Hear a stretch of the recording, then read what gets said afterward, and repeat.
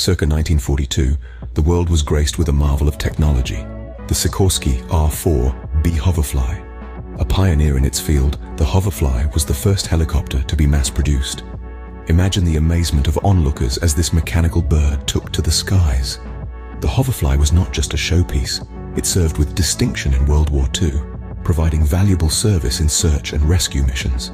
Picture the relief of stranded soldiers as this flying savior descended from the clouds.